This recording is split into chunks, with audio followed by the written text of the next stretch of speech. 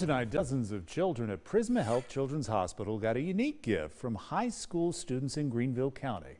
7 News reporter Asia Wilson was there for the special delivery. Students from J.L. Mann Academy walked through the doors of this hospital to place gifts in many hands of small children. Colorful, bright, and warm gifts I like.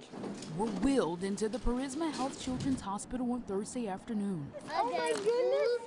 And red. 80 to 100 handcrafted blankets, It has cute doggies and it's so soft. all going to kids hospitalized undergoing outpatient procedures. Whether they're having an EEG, an echo, they're getting an IV, or anything that's going on, they can get a blanket. The hands that wove each one. Welcome. Each blanket consists of two different uh, fleece blankets, and we basically trim the edges sort of, and then wrap knots around. belong to J.L. Mann High School's Beta Club and UNICEF Club students. When we heard about this opportunity to, you know, get in contact with Prisma Health and really help impact these patients' lives, we thought it was just something amazing that we could help, especially during this holiday season. Hospital staff say procedures and experiences these kids go through can be scary at times. Sometimes It really is, and so having something warm that they can hold on to while that is going on is just wonderful for them to be able to take home. Like that one. Yeah.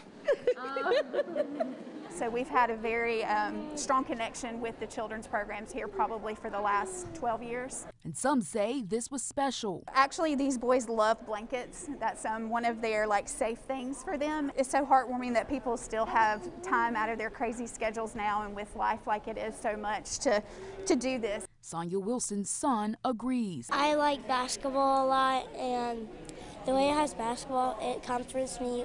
I really like it a lot. At night, I like almost use every single blanket I have. Pick one And as each blanket was made with care, Each one was a labor of love. it was done by kids not much older than these. I hope that each blanket, like at the end of the day, is just putting a smile on their face and it's helping them, you know, walk out of this In Greenville County, Asia Wilson, 7 News.